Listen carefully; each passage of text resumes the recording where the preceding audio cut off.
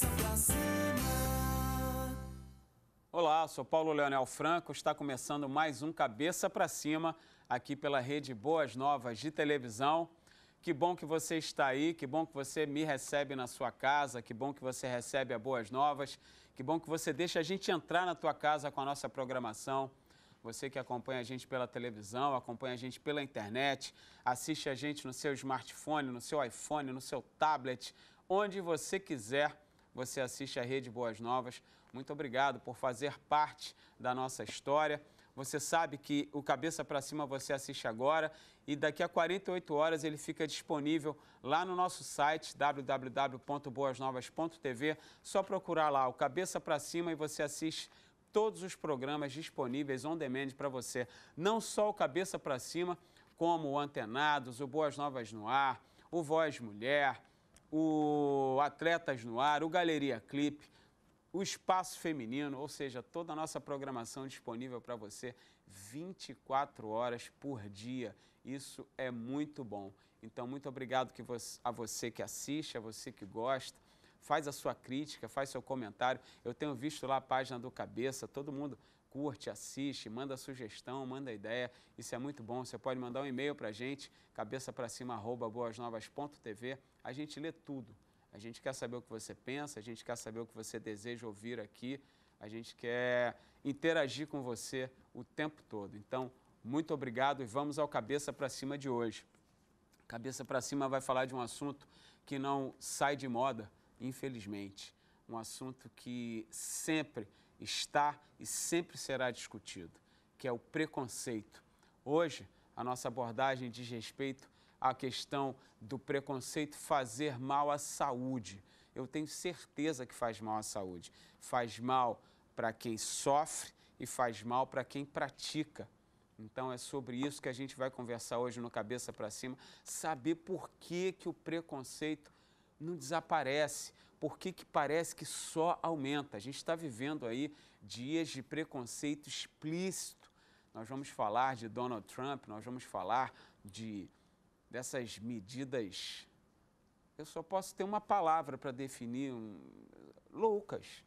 Né? Eu tenho a impressão de que, às vezes, o Donald Trump, me perdoe os simpatizantes do Donald Trump, mas às vezes eu tenho a impressão de que ele pirou, de que ele ficou maluco, eu não sei. Nós vamos falar sobre isso no Cabeça para Cima e muito mais. Então eu vou informativo e volto já para falar de preconceito. Uma pesquisa publicada no The British Medical Journal, um dos mais influentes jornais de medicina do mundo, sugere que o bullying na adolescência está fortemente associado com depressão no início da idade adulta.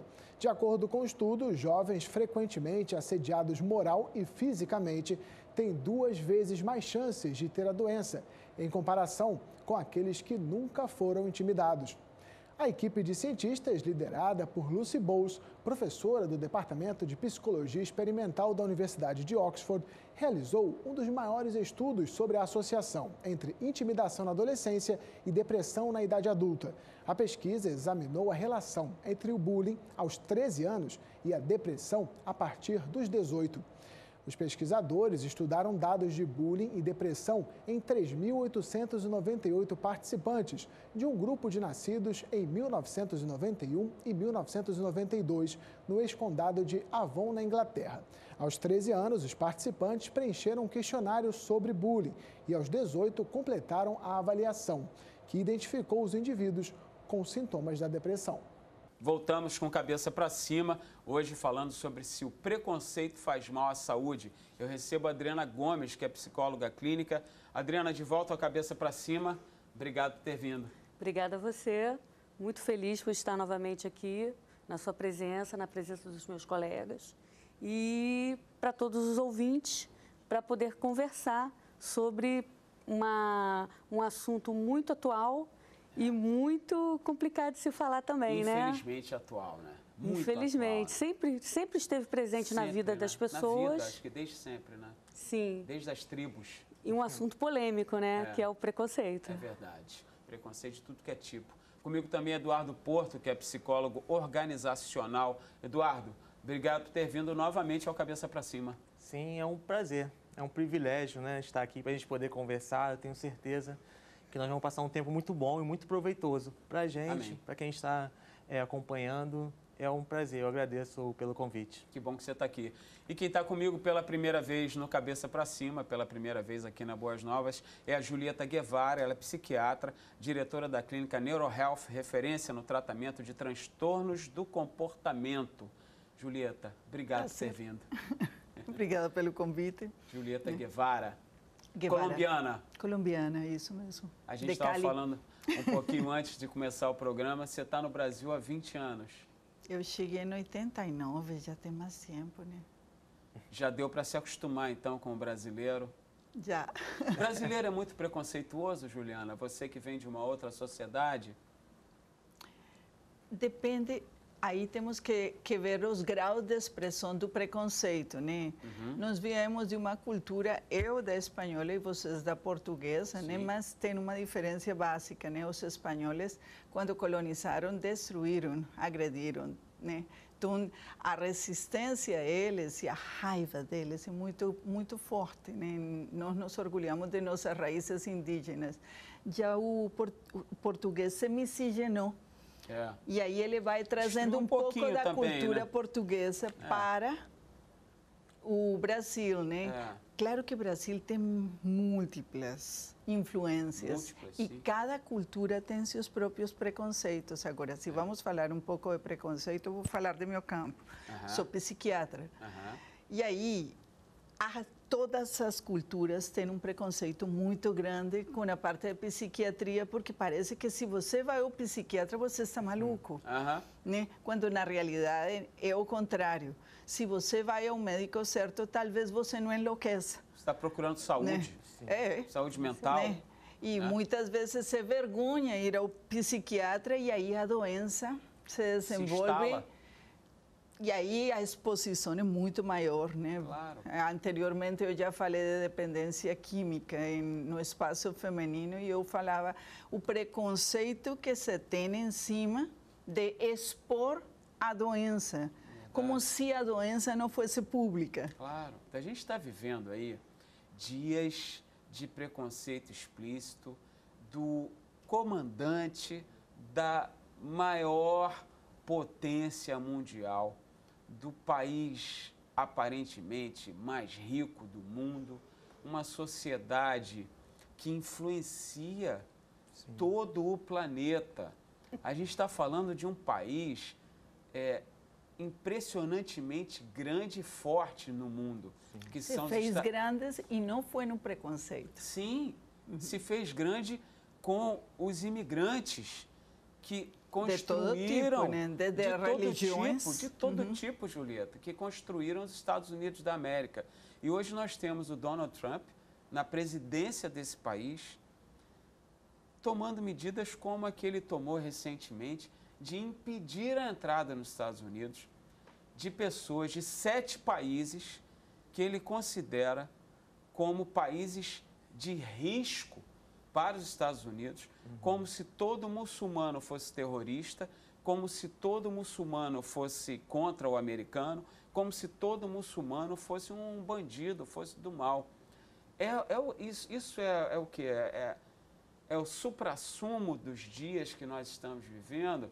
É a cereja no bolo do preconceito?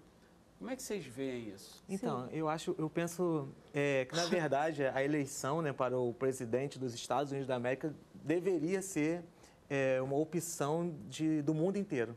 Acho que o brasileiro deveria votar, o muçulmano, o africano, porque como você disse, é, é uma pessoa que vai exercer influência no mundo inteiro. Então as decisões que ele toma lá é, vai refletir né, no, na no vida mundo de todos. inteiro. E assim, foi uma, realmente a gente percebeu um discurso que traz essa, essa ideia, né? Tanto da xenofobia, é, o preconceito racial, o preconceito de gênero. E aí uma pessoa que tem espaço na mídia, né? Que tem voz, isso de certa forma realmente vai influenciar, influencia a pessoa, influencia o discurso de muita gente. A gente sabe que lá nos Estados Unidos o voto não é obrigatório como no Brasil. Então as pessoas que foram às urnas é, foram pessoas que realmente acreditavam nesse discurso, né? E que acreditam que levantar um muro é, no México é um, algo viável, né? algo bom. E isso vai realmente contra tudo aquilo que, que se prega hoje, né? Como ser humano, né? De- Derrubou-se o muro de Berlim e agora quer construir um outro muro para realmente segregar e separar pessoas. Eu acho que é- realmente é uma, uma boa pauta para a gente discutir para que rumo a sociedade e o, e o mundo está tá seguindo a partir desse novo momento na, na política americana, que, como eu disse, é, influencia diretamente todos os outros países. É, Fala, Adriana. Então, é, a gente puxando assim para o lado psicológico, né? Não estou afirmando, mas estou comentando. Olhando a, o governo dele, né? A entrada dele no governo dos Estados Unidos, pensando no Trump como, como uma pessoa, como todos nós.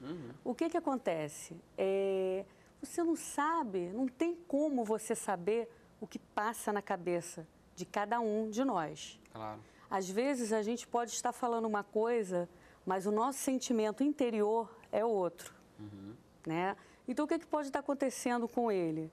Ele tem as ideias dele, ele tem os pensamentos dele, mas para que ele pudesse puxar para si o, o- ganhar as eleições, ele falou o que as pessoas queriam ouvir. Claro. Não acontece só com ele, mas com diversos políticos também. Em diversos países. Em diversos Infelizmente, É um países. discurso populista de direita que, que, que leva muitas pessoas Sim, ao poder. populista da esquerda também. E também, populista de esquerda também, é verdade? Você vê que o maior país populista do mundo é a China, né? E não porque a China abriu para o Ocidente e melhorou, porque é uma potência. Aham. Hoje na produção, isso não mudou em nada a vida dos chineses. Sim. Entra final de semana, acaba a semana, eles não sabem que acabaram porque eles moram nas indústrias. Aham.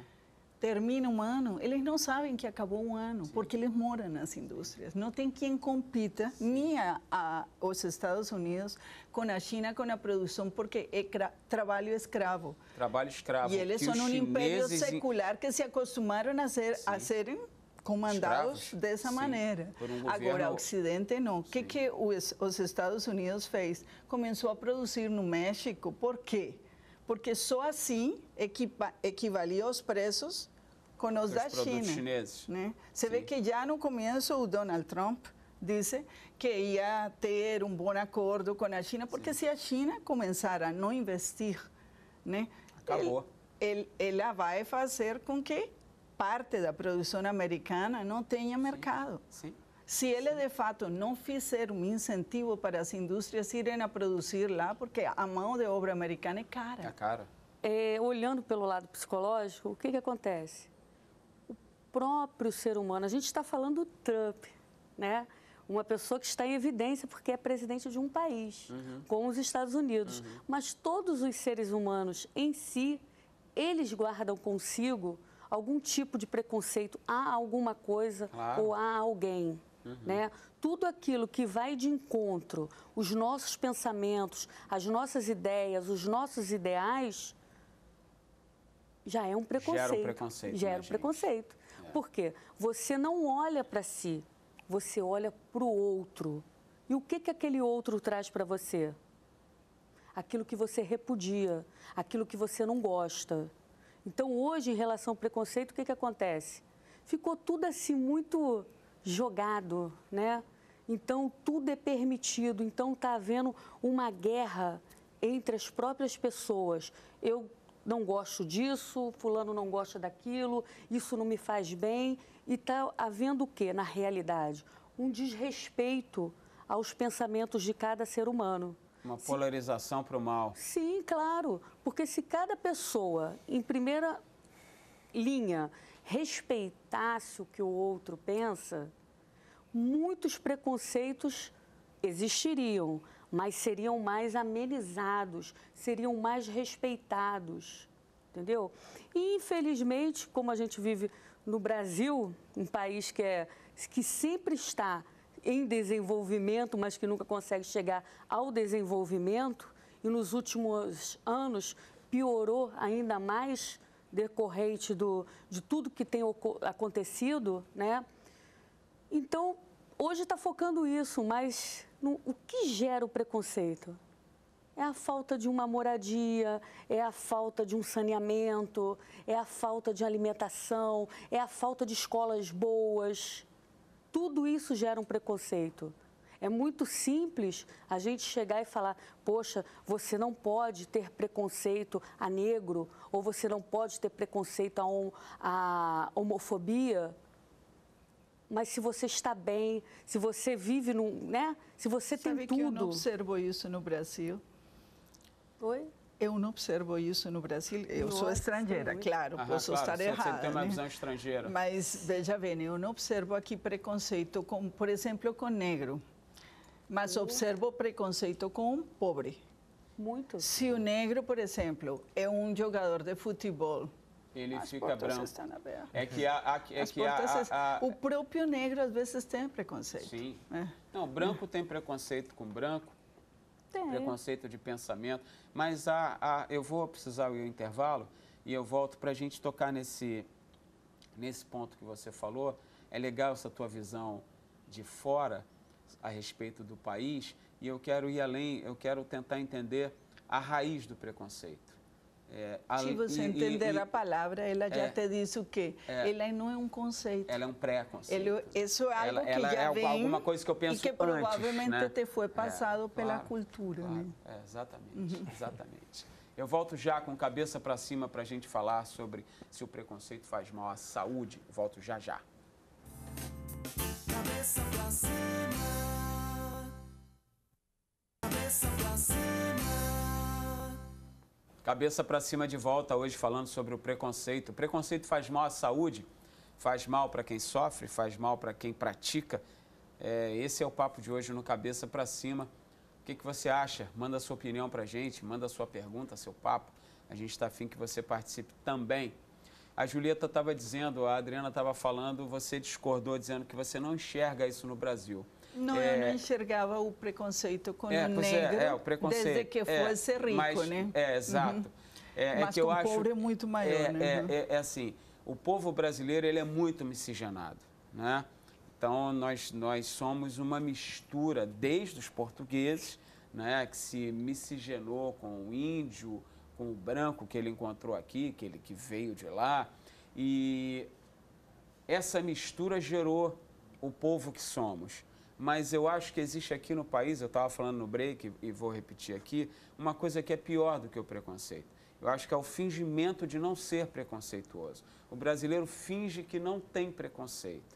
Ele finge que ele se dá bem com todo mundo, é o brasileiro cordial, né? O brasileiro cordial que o Sérgio Buarque de Holanda é, descreve. E, mas quando você lê o Freire, Casagrande Senzala, é, ele, ele, ele vai fazer muito bem essa diferenciação entre o branco da Casa Grande, o patrão, o europeu, o que manda e aquele que está sendo explorado, é, trabalhador explorado. E a gente tem isso muito aqui e em outros lugares. Só para ilustrar uma, uma, uma, uma coisa, um fato, Julieta, eu saio a pé do meu condomínio para vir aqui para o trabalho. E eu desenvolvi um hábito de falar, de cumprimentar todas as pessoas com as quais eu cruzo. Eu dou bom dia para todo mundo. Se passa por mim pela calçada, eu digo bom dia, sempre. E eu passei, dentro do meu condomínio, eu passei por um senhor negro, um senhor, de, senhor mesmo, de cabelinho branquinho, de barbinha branquinha. E eu falei assim, bom dia senhor, tudo bem? Ele imediatamente, ele arrumou o corpo dele, ele teve uma atitude corporal em relação a mim e ele disse assim, bom dia patrão. Imediatamente, ele disse, bom dia patrão. E eu disse para ele assim, eu não sou patrão do senhor. Aliás, eu não sou patrão de ninguém. É, Só me dar o bom dia já está sensacional. Ele não, ele não soube reagir nem a essa minha fala para ele. Ele ficou na dúvida me olhando assim. E ali eu senti uma coisa tão triste, eu fiquei tão triste de ver anos de história, anos de história ruim refletidas nessa relação. Um branco dando bom dia e ouvindo de volta um bom dia, patrão. É, então, nós, nós somos, sim, preconceituosos. É, o que é uma pena. Isso não deveria ser, porque nós somos iguais, Então, todos. Fala, Então, Eduardo. Paulo, na verdade, é, nós sabemos disso, que todos nós temos um pré-conceito, Sim. né? É, a É, Julieta estava falando no break também do, da, da raiz da, Da palavra, palavra né? mesmo, né? Do, do, Ou do seja, prefixo que ela traz. É um conceito, é um pré-estabelecido sobre algo Sim. que isso vem da própria cultura, né? Sim. Mas existe uma diferença de um conceito implícito, onde a gente tem naturalmente sobre, sobre qualquer situação, um pré-julgamento, que inclusive eh, vai acabar direcionando muitas das nossas atitudes, mas tem um outro conceito, que é um, um outro preconceito, que é um preconceito explícito. Quando eu trato o outro de forma diferente, pela cor, pela raça, pela atenção, quando eu tenho uma atitude eh, de intolerância, esse preconceito que me faz eu ser intolerante ou me sentir superior ou melhor ao outro, seja por uma condição social, seja Qualquer de uma coisa. condição de qualquer origem, Natureza. esse preconceito é um preconceito danoso, que faz muito mal, tanto para quem pratica, para o outro, né? Quando isso é explícito de forma ofensiva, que agride né, o outro. Então, o preconceito a gente vai saber lidar e a gente pode ter muita dificuldade de lidar com o que é diferente. É, mas isso não me faz, né, não me dá o direito é, de agir com nenhum tipo de violência, com nenhum tipo de, de julgamento, que aí isso vai ser algo realmente ruim. É, realmente a expressão é o que faz a diferença, né? Sim. Frente ao preconceito. Né? Como você expressa, né, Julieta?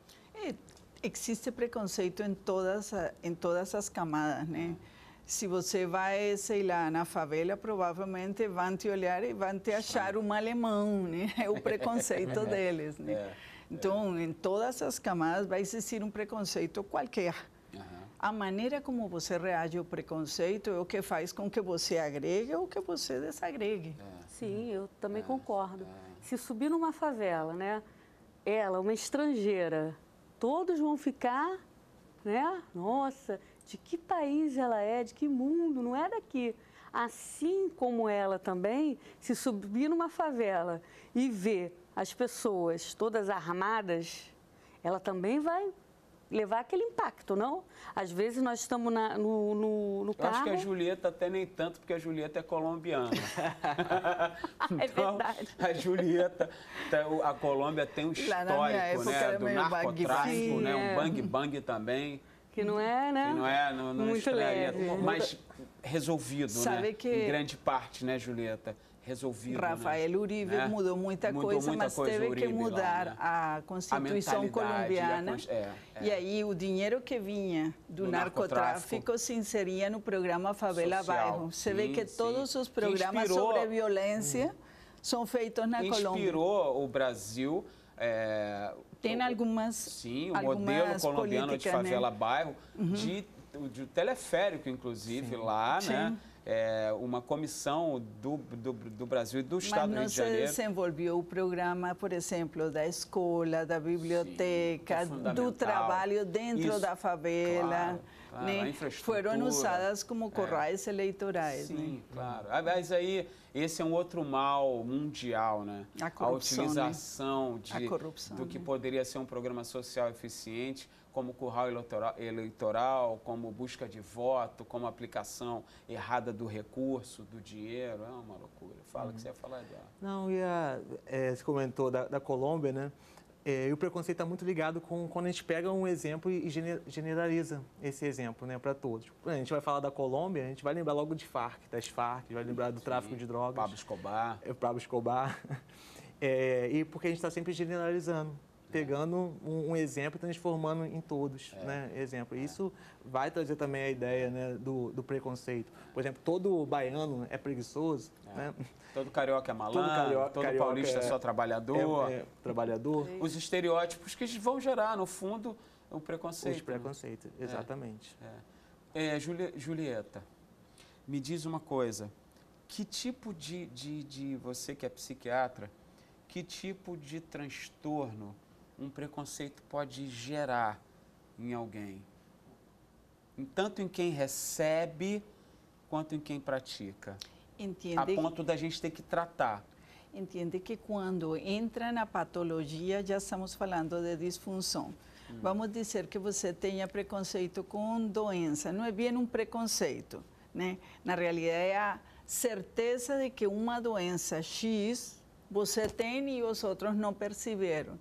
Isso vai te obrigar a fazer uma série de pesquisas e o desespero enquanto o exame não chega, né? Ou, sei lá, também tem outros preconceitos de sujeira, né? Mas isso já é uma disfunção de um sistema que imobiliza a pessoa que se chama transtorno obsessivo. Né? Ele vai se limpar e vai se lavar ao ponto de precisar de dermatologista para tratar, né? Ou os, os rituais de checagem que vão imobilizando, né? Então, tudo aquilo é como, se, é como se a mesma reentrância não saísse, não é bem um preconceito, é uma disfunção do sistema. Né? Então, tem algumas coisas que obrigam ao tratamento. Né? No caso de, vamos voltar para o começo, quando ele abordou a questão de Trump, que não sabe se é uma questão dele. Sim. Se ele não está fazendo com que seu eleitorado recupere a fé, né? vamos chamar assim, né? porque é uma crenças que não se fundamentam no fato do que ele tenha feito, do que eles acreditam que ele vai fazer. Aham. Né? Então, quando ele promete fazer isso, promete fazer aquilo, ele está recuperando a credibilidade de seu eleitorado, porque todo mundo o criticou. É o maior nível de impopularidade numa eleição. Sim. Né? Então, eu penso que aí você já vai vendo de que ele provavelmente está sintonizado com isso, está tentando recuperar. Como? De uma maneira completamente inábil, porque vai criar um preconceito mundial, mundial que vai lhe fechar as portas. Né? Até que ponto isso é funcional? Talvez isso não lhe permita nem chegar ao final do mandato. Sim. Pensei Né? isso ontem, sabia? Você sabe que tem o, o- desde o do Ronald Reagan que não há uma tentativa de assassinato a um presidente americano, né? Tentaram matar o Reagan na calçada, né? Vocês lembram disso? O cara avançou contra ele e um guarda-costas o salvou, se atirou na frente do, do tiro e, e o salvou. E, e eu pensei isso ontem. Será que o Trump chega ao final do mandato dele? Será que alguém mata esse cara antes? Ou... Depende da funcionalidade, porque tua pergunta era essa. Em que Aham. momento, Em que momento precisa deixa tratar? de ser funcional, é? Né? No momento em que a disfunção é evidente. Que vira uma doença. Aí entramos na patologia. Aham. E aí é tratamento. Aí vai se fazer evidente que precisa de uma abordagem outra, né? Aham. né? Muitas vezes as atitudes, por exemplo, de meus pacientes, eu sou psiquiatra, só são entendidas no contexto da doença quando ele, de fato, surta. Quando ele manifesta. Antes do né? surto, Não tem como. E às vezes nós psiquiatras dizemos que o paciente tudo bem, ele obriga o tratamento porque o surto aconteceu ou a depressão aconteceu ou o transtorno abriu, Aham. né? Então ele evidencia. E a família que está em volta pode ter uma disfunção pouca que não levou ao surto e que nunca vai ser funcional. Vai Que loucura. permanecer disfuncional sempre Aham. né? Então, eu penso que o que traz para o tratamento é a eclosão do sintoma, Aham. né? Entendi. Fala, Adriana. Então, é o lado também né, dele, do ego, do superego dele ali. Ele, ele é aquela pessoa que pode fazer tudo o que quiser. Por quê? Ele está na liderança, ele é um cara bilionário.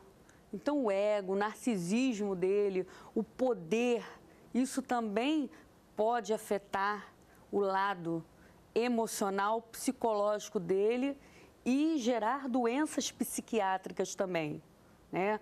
Que ele está reprimindo certas pessoas. Tem pessoas que vão chegar, países, né? Tem, tem pessoas de, de determinados países que vão, o quê? Quando a gente se sente acuado, o que, que a gente faz? Ataca. A gente ataca. Uns vão atacar, mas nem todos vão atacar. Outros vão se reprimir, vão se fechar como se fosse uma concha. Aí, o que, que acontece com essa pessoa? Ela adoece. Ela não vai querer se socializar com outras pessoas, ela vai se sentir menor do que outras pessoas. ela não vai querer viver naquela sociedade junto com, com, com outros. Né? Ele, ela vai acabar ficando antissocial e desencadeando outras doenças, uma depressão. Né? Você lembra de aquele episódio em uma escola aqui da zona norte do Rio, em que uma pessoa diferente sofreu bullying na adolescência, né? Ele lembro. não Ah, sim. só Lembro adoeceu, como ficou vendo aqueles, Sim. aqueles vídeos fundamentalistas, adotou uma Sim, sim, linguagem completamente fora do contexto brasileiro, chamava de impuros, aprendeu a tirar, né? E deve ter aprendido bem, porque em quem mirou, acertou. Né? E foram não sei vários. quantos É, garotos que foram atingidos, não sei quantas famílias foram atingidas por uma questão do preconceito do Contra diferente, ele, né? que é uma coisa que acontece na adolescência, que leva os garotos ao bullying. Sim. O preconceito com a Preconceito, diferença. Claro. Né? Ele, era, ele turma, tinha né? algum E problema. é forte, né? É. É, o bullying, o cyberbullying, todas essas questões são a exacerbação modernas do preconceito. preconceito. né? Em uma fase que é a adolescência, É, que é a transição entre a, uma a- a infância é, para a idade adulta, quando eles estão começando a socializar, uma das coisas mais comuns é o preconceito com a diferença, porque eles querem se inserir. claro. E o diferente, É, você vê como a expressão humana está aí clara, né? sim. É, E, fala do- Paulo, é, a gente está falando da, política americana, né? Só que a gente pode lembrar também que o Brasil, né? Se a gente trouxer para a questão política no Brasil, é, temos muitas pessoas que vão para as redes sociais, vão para o Facebook fazendo campanha para uma determinada pessoa que nem, se- nem se candidatou ainda, nem é um pré-candidato, mas que também tem um discurso é, que muitas vezes é de intolerância, De um discurso direitista, né, que, vai, que exatamente vai reforçar essa questão, né? É, aquele discurso de- do, do preconceito contra o, o- o homossexual, de preconceito contra o ladrão, o bandido. É, então, assim, a gente vê essa questão da direita muito forte, trazendo uma, uma- essa perspectiva fora do Brasil, mas nós também teremos eleições no Brasil em pouco tempo e tem, tem ficado cada vez mais forte. E tem né? muito voto, hein? Sim. Tem muito voto. A gente vê nas redes sociais que Uhum. preconceito gera voto também. né? Isso, é uma Não há- polêmica, né? Sim, preconceito Gera gera, voto. Gera polêmica e gera voto. Eu preciso ir ao intervalo de novo, já estourei três minutos, mas eu volto já para a gente continuar falando sobre o preconceito. Já vimos que faz mal à saúde. Então eu volto já com cabeça para cima. Cabeça pra cima, Viraram cabeça pra cima. Cabeça para cima de volta hoje falando se o preconceito faz mal à saúde. Antes de continuar, quero agradecer ao semeador de Boas Novas. Obrigado porque você participa do nosso projeto, acredita no nosso projeto e contribui com ele. Obrigado porque você faz com que a nossa emissora esteja no ar, produzindo conteúdos, discutindo questões relevantes para a sociedade, trazendo transformação para a sua vida. Muito obrigado pela tua companhia, pela tua parceria, pela tua oração.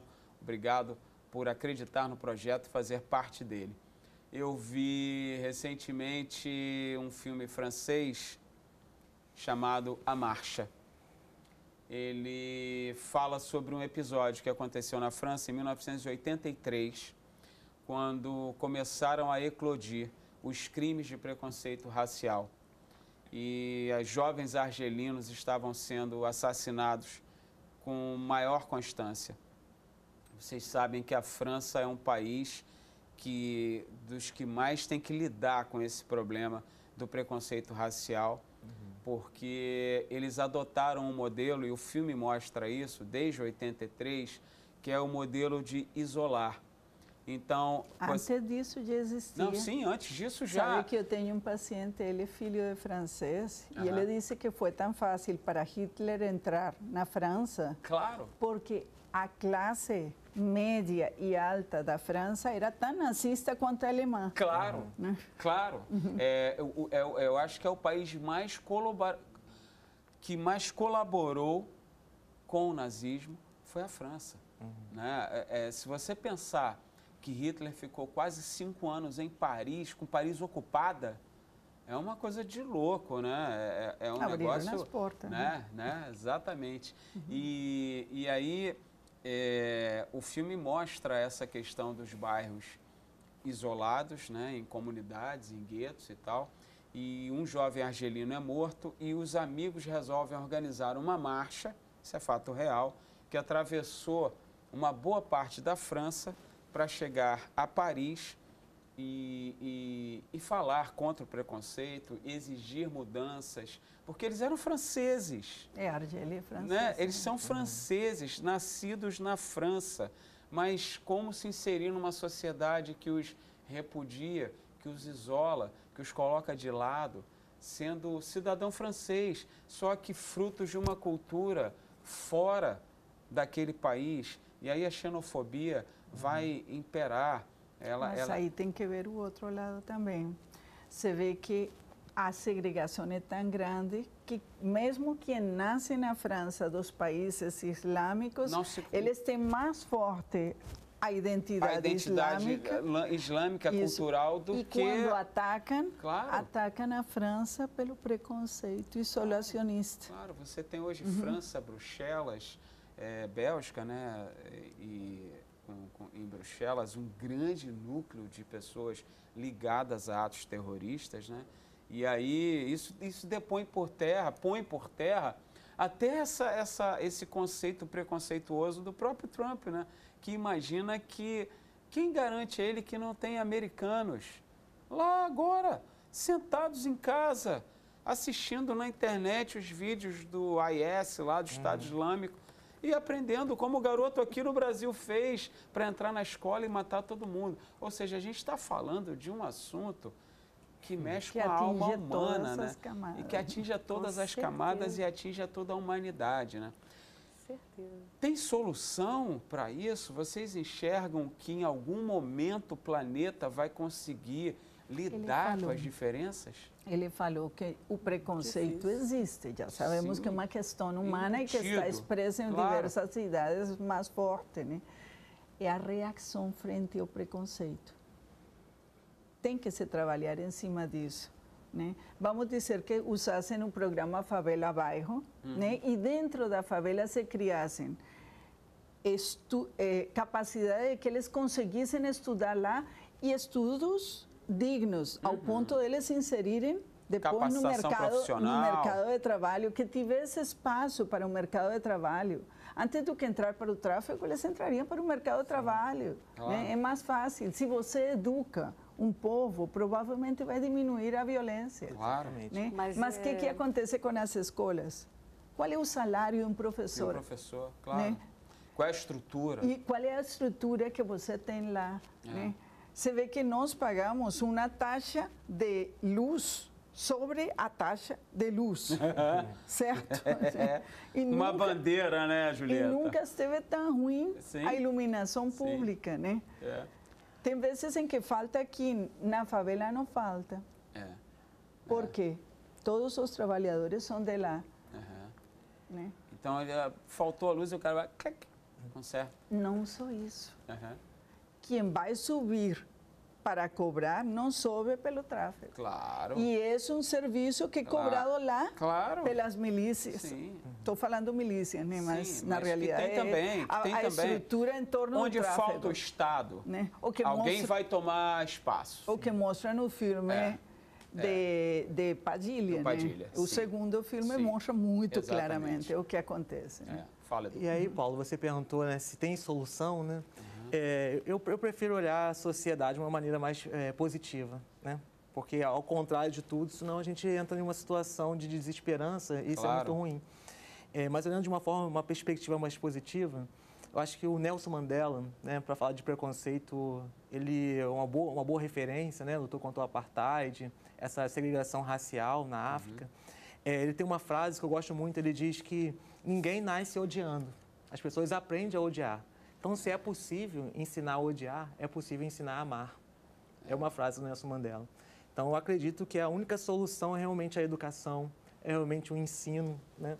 Você, se as pessoas aprenderam de alguma forma a ser intolerante, a odiar, existe forma, sim, de a gente ensinar a respeitar, né? a tratar o outro de uma maneira é, no mínimo, como você gostaria de ser tratado. Claro. Isso se chama empatia, né? Ter essa capacidade de se colocar no lugar do outro é, e tratar o outro simplesmente como que eu gostaria de ser tratado, né? Como que eu gostaria que as pessoas me respeitassem, olhassem para mim. Isso é um mandamento quando, quando e não estou falando de religião não, tá? Estou falando de um cara é, sensacional. Isso é um mandamento de Jesus Cristo. Exatamente. O cara que passou aqui pela terra e falou assim, meu querido, você quer ser amado? Ama o teu próximo como você se ama. Uhum. Ama. Exatamente. O padrão Ama. de amar o outro é você, né? É claro. Mas aí a gente entra em um outro, uma outra questão, né? Aí as pessoas também precisam aprender a se amar. Pegando Claro. para essa perspectiva de Jesus, As eu, pessoas... eu Fala. preciso amar o outro como eu me amo. Claro. Se um menino, ele cresceu sem esse amor, né? Como é que ele vai Se a amar? menina cresce e olha para o cabelo dela, acha o cabelo dela duro, não Sim. crespo, ou, Sim. ou de outra maneira, porque ouviu Ou isso da feio, cultura, ou grande, ou, feio, torto, ou qualquer coisa. e ela não consegue se amar, tem muita dificuldade também amar esse outro, né? E cresceu ouvindo isso. Cresceu ouvindo a mãe, ou o pai, ou o tio, ou o avô. Eu- A cultura. A cultura embutida, inserida nisso. Como fazer. Exatamente. Você- você- Gandhi usou um conceito diferente na Índia, porque a Índia é uma sociedade secular com muitas tribos. Aham. né? Ele Muitas usou castas. justamente o contrário, a não, A não violência. violência, claro. E depois Indira, em uma sociedade altamente machista, foi eleita Foi várias eleita. vezes. É, Sim. exatamente. Indira Gandhi, sim. Adriana, você, você queria falar sobre Sim. isso? Fala, fala. É, Então, você estava perguntando se isso um dia vai acabar, se onde tem nós alguma solução, se onde é que a al- gente vai parar com isso? se tem uma receita de bolo já pronta para a gente poder resolver essa parte do preconceito, né? Então, aí eles mencionaram a- a questão da educação. Pô, eu também concordo. A educação na vida é tudo. Sendo que é muito difícil para uma criança, para um jovem, ir à escola quando não se tem uma escola, ou estar numa escola que não, que não tem professor, ou ir para uma escola com fome, sabendo que sua mãe, seu pai está doente e que ele precisa trabalhar para poder levar, ajudar a família. Então, assim, a médio e longo prazo, as coisas estão Tem que bem se difíceis. trabalhar na corrupção. Também? Sim, Porque a corrupção eu- é quem desvia o dinheiro que deveria Claro. estar indo Eu ia para construir mencionar isso. Para a educação, E- para a saúde, para a E infraestrutura. para pagar os professores Para que pagar. vão a criar o futuro. Claro. Então, a Lava Jato, né? Tudo isso que vem acontecendo com os políticos, que nós mesmos colocamos lá dentro. Então, muita coisa foi retirada do povo. Muita coisa tem que ser feita.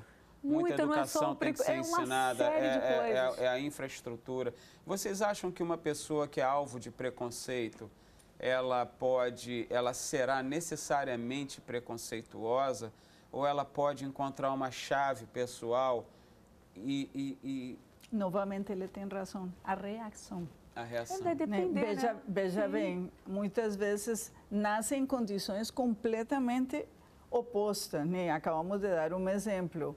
Indira Gandhi, uma mulher em uma sociedade machista e em uma Sim. sociedade secularmente dividida em Sim, castas. Sim, Né? sim. Foi presidente. É, né? Obama é outro exemplo Obama, desses. Estados Unidos, Né? claro. É. É. né?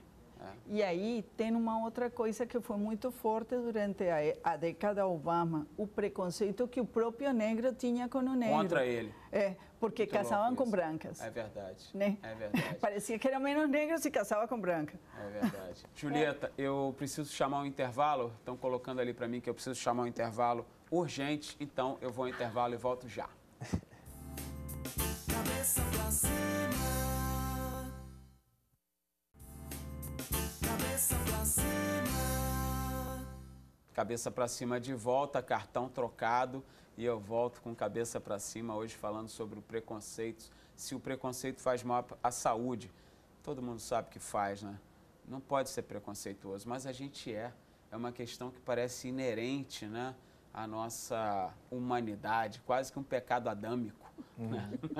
o preconceito ele já ele já vem assim, esse absurdo que é o Muito preconceito, forte, né? preconceito. Muito forte. É, quem, quem vocês conseguem enxergar assim quem sofre mais preconceito? Se é se o mundo, a gente está tendo mais hoje preconceito de, de cor, de, de gênero, de contra a mulher, contra, sei lá, Eu penso que se vamos englobar isso em uma o- palavra, é o diferente. Exato. é. Essa, essa que é a questão, né, Julieta? É contra o diferente. Nos países islâmicos, quem é cristão sofre preconceito. Nos países cristãos, quem é islâmico sofre, sofre preconceito. Né? Você vê o Vladimir Putin, né? não se importou nem um pouco com, com quem ele estava bombardeando desde que Na aquele Síria. território voltasse para seu controle. Né? Não, antes já tinha tido né, a Crimeia. Crimeia, sim. É, né? E o que é, o que é louco, né? Você está falando de conflitos que a gente acompanha e é, é, é muito curioso, porque às vezes, eu estava outro dia assistindo um telejornal e estava sentado jantando, sim, e vendo o telejornal e vendo um bombardeio na Síria.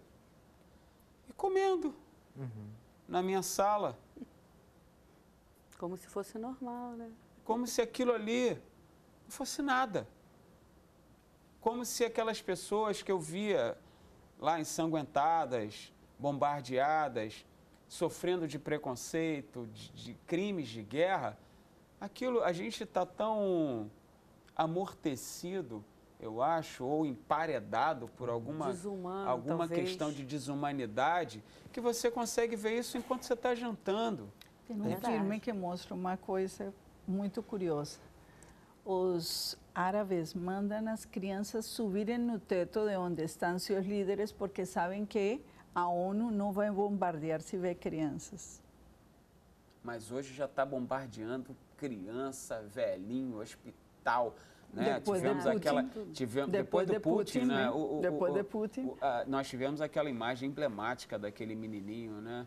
Na, na ambulância, um menino de 5 anos de idade, um ano mais novo só que a minha filha caçula, é, em estado de choque, sentado dentro da ambulância. Ainda né? empoeirado. Nós né? tivemos Ainda- aquele Você recentemente. viu aquele filme Sniper americano? vi, Né? Coisa, Ele né? rezando para que o garoto não pegasse a bomba, mas Sim. o garoto pegou Pega. a bomba. Claro, que né? coisa. que é né? aquilo de que já foi crescendo dessa maneira. E nesse mesmo filme se chama O Reino. Ah, no Kingdom. final, no Claro. final, enquanto um fala, A ah, mesma nós vamos nos coisa, né? vingar, né? Está o garotinho lá no O outro vindo do lado, avô, é, né? que já tinha perdido que não sei quantos dedos perdido, fazendo bombas, né? Para... Exatamente, né?